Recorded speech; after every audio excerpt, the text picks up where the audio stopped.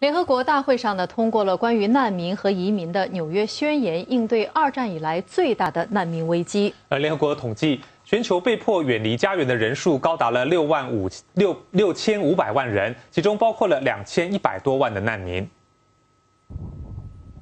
自从叙利亚战争爆发以来，跨越地中海进入欧洲的难民数量剧增。目前滞留希腊各岛的难民超过一万三千人，前途茫茫。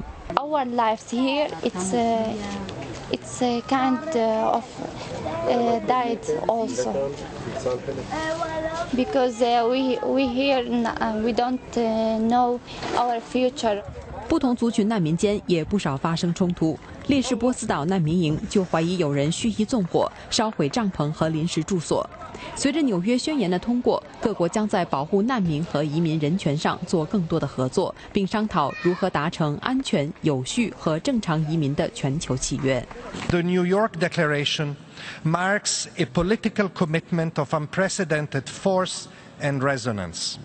It fills what has been a perennial gap in the international protection system, that of truly sharing responsibility for refugees in the spirit of the United Nations Charter.